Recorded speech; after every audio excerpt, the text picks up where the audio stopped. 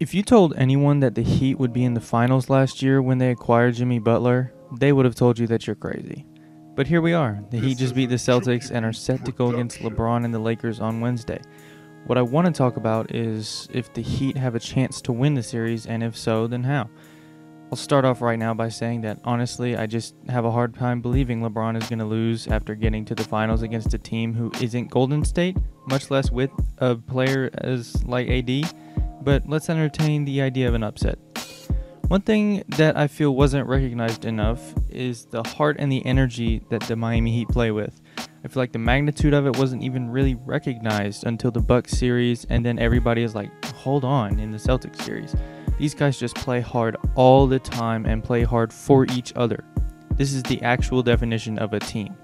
I know a common comparison for this team is the 04 Pistons, and honestly, I guess that isn't too far off, but the difference is they aren't facing a young, arrogant Kobe, they're facing LeBron in year 17, who definitely is a much smarter basketball player at this point. But let's get on to the actual basketball stuff. I think the biggest weapons for the Heat are Tyler Herro and Goran Dragic, considering it's going to be KCP and Danny Green and those type of guys guarding them all game. I don't think I have to remind you of the 37 point game Tyler Herro had the other day. He's proven that he can perform on the biggest stage with confidence, and he will definitely need that in the finals against a LeBron James led team. This team is locked in on defense and definitely won't make it easy on him. We saw LeBron guard Jamal Murray in the fourth quarter of game 4 or 5, whichever one that was, and I promise you, in the finals, if it comes to it, he'll do it. But he's got the complete package. He'll take guys off the dribble, take step backs, take catch and shoot 30 footers, and most importantly, call for the ball when it comes to it. Tonight in Game 6, you saw him calling for the ball to put the Celtics away late in the fourth, and his team was more looking for him. He's not only been a lethal scorer, but he's towards the top of the Heat in assists and rebounds, either in the series or the playoffs, I can't remember. Either way, he's been everywhere. And then there's Goran Dragic, the other guard who's going to give LA an absolute headache. Dragic has been very good for the Heat in these playoffs, I think most notably as a scorer.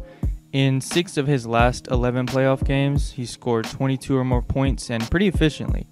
The Dragic Bam pick and roll was lethal against the Celtics, but I doubt it will have the same effect with AD down low, obviously. But when those two are on the court together in the playoffs, they outscore their opponents 7.7 points per 100 possessions. The only other duo that played more minutes and scored more was Jimmy Butler and Bam. Dragic just has to keep steady and get his 20 points while keeping the offense flowing like he has been doing. One thing that does concern me on offense a little bit is Jimmy Butler. He just has to be better on offense.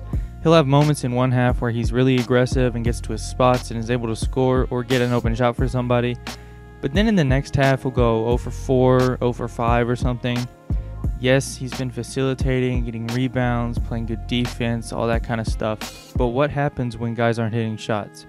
He didn't even make a three games two through five and only attempted one or two a game. Now, he did get to the free throw line seven times a game, which needs to maintain itself, especially if he's not hitting or attempting jump shots. Then, if guys like Iggy and Crowder can hit open jumpers, they should be good. All this is best case scenario, obviously, Iggy was terrible from three, and Crowder has fallen off a bit in the last few games. And aside from game six, Iggy, you know, sucked from three again. So we'll have to see what happens there, but more on the defensive side of stuff is where things get real interesting. First, I'd like to start with Bam on AD because that is obviously a very important matchup, and I think one of the most interesting matchups in the series. I think Bam is physical enough to get AD to settle for those face up 15 footers he loves. And honestly, if he makes 40% of them, you just gotta swallow it.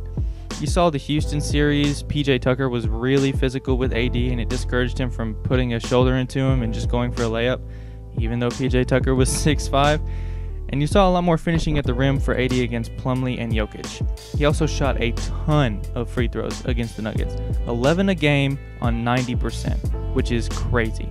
So if Bam can keep AD around 15 feet and just take face-ups, it will go a long way in stopping the Lakers offense. The same kind of plan applies for LeBron too. Get him to settle on jump shots. The Heat have guys like Jimmy Butler, Iguodala, Crowder, who can all rotate on Bron at any given moment, but I don't think any of them are stopping him from barreling to the rim and getting fouled or finding the open guy. I mean, at the end of the day, it's LeBron James, and there's not a whole lot you can do about it. If Anthony Davis isn't scoring a bunch and guys aren't hitting shots, he's going to get his 40, 15, and 10, whether you like it or not. But you can at least help yourself out by trying to get him to settle for some jumpers. The Lakers are doing you a favor by having Danny Green, Caruso, and Kuzma suck from three in the play. I mean, Kuzma's been okay, but in the against the Nuggets, Danny Green shot like 32%, I think. Caruso shot 15%, and Kuzma shot his normal 29%. But I don't think you can count on that maintaining itself for the whole finals, right? I mean, if you want to let Danny Green beat you and just double off him to contest LeBron or Anthony Davis, be my guest. But there's not a whole lot of game planning you can do against the Lakers because it's LeBron. The most you can do is try to slow down AD and hope the Lakers haven't found their three point shooting. But the Heat's threes have to drop too, because outside of Tyler Herro, there wasn't a ton of that going on against the Celtics. And defensively, Tyler Herro, Goran Dragic, all those guys should theoretically just be on spot up guys. Sometimes you see the Lakers offense kind of stagnate and guys are just kind of watching LeBron, waiting for him to drive and kick. So that should make it pretty easy because Tyler Herro isn't the strongest defensive player, either is Goran Dragic, so just ha- or Duncan Robinson for that matter. But those guys should just be on guys standing in the corner, so that should definitely make it easy on them unless they do start to incorporate some movement in their offense, off ball screens, all that kind of stuff. So outside of Jimmy Butler and the rotation of guys who are going to try to handle LeBron and AD, it should be kind of easy on them considering there's not a whole lot of movement in the Lakers offense. But the energy and the chip on the shoulder this team plays with, along with the talented team, should make this a very interesting series. A lot of things have to go right for the Heat to win the finals, but I don't think it's impossible.